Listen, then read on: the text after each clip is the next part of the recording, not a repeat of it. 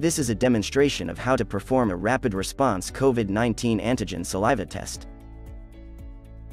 The test kit provides a saliva collection pen with test strip and an extraction buffer cap. Materials required but not provided in the test kit, clock, timer, or stopwatch.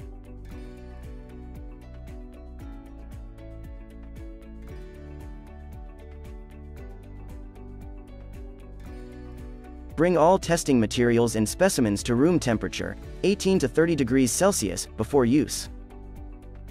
Open the pouch and remove the saliva collection pen and the extraction buffer cap from the packaging.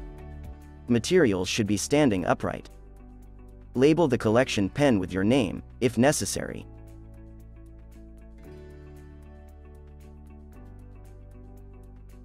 Clear your throat, then cough deeply four times with your mouth closed.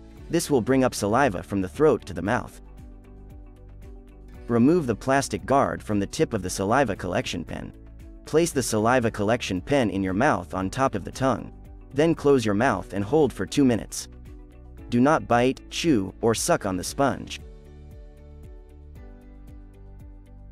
Hold the saliva collection pen vertically and place it into the extraction buffer cap.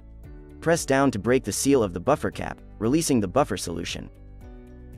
Start the timer immediately after breaking the seal. Read the results at 15 minutes.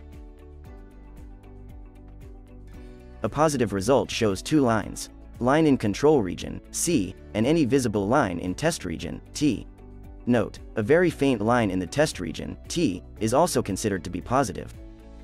A negative result shows one line in control region, C, and no apparent line in test region, T.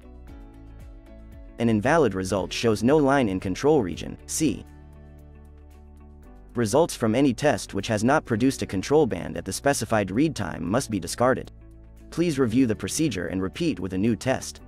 If the problem persists, discontinue using the kit immediately and contact your local distributor.